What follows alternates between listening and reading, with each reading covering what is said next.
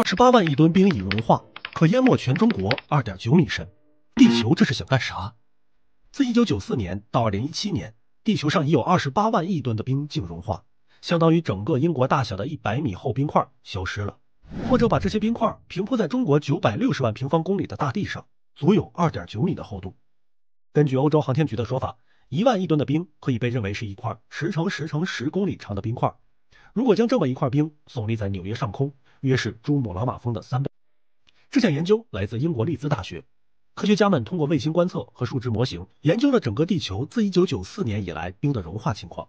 结果发现，北极海冰融化最多，损失7.6万亿吨；南极大陆冰架总计损失6.5万亿吨；山岳冰川损失了6.1万亿吨；格陵兰冰盖和南极冰盖一共损失6.3万亿吨；南极海冰损失0.9万亿吨。根据计算，北极地区的气候变暖速度比全球其他地区要快上两三倍。北极海冰的重要作用是把太阳辐射返回太空，但随着海冰融化，更多的太阳能被海洋和大气吸收，导致北极比地球上其他任何地方都更快的变暖。这不仅加速了海冰的融化，也加剧了冰川和冰原的融化，导致海平面上升。专家预测，海平面每上升一厘米，就有一百万人面临流离失所的危险。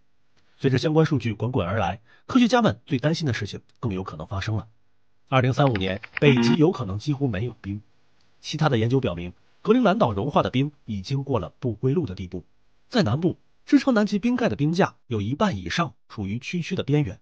目之所及，地球上的冰冻圈将面临大灾难。有博主预测，假如地球上所有的冰川突然融化，人类将面临什么？冰川融化的瞬间，全球海平面会急剧上升六十八米以上。众多沿海城市将被完全淹没。冰川融化一小时，大气热平衡破坏，气候开始变化。冰川融化一天后，上升的海水侵入陆地，导致九点五亿人口无家可归，只能被迫前往内陆生存。冰川融化一周后，由于大量淡水突然涌入海洋，海洋洋流开始发生变化，狂风、暴雨、海啸等众多极端天气接踵而来，内陆更是爆发了千年难得一见的特大洪水。冰川融化一个月后，海底板块变得活跃起来，这将导致其释放出巨大的能量，猛烈的地震将出现。虽然视频里讲的未来很恐怖，但其中洪水、山火不正是我们正在经历的吗？这不是对未来的凭空想象，而是人类将来可能面临的问题。扭转全球变暖绝非易事，但只要我们选择绿色出行、节约用电、循环利用、环保购物，做好垃圾分类和回收，我们节约的每一滴水、每一度电、每一张纸巾。都是为人类在地球上多生存一天而做出的努力。我们要拯救的不是地球，而是人类自己。以上就是今天的全部内容了。喜欢的朋友点赞关注，下期再见。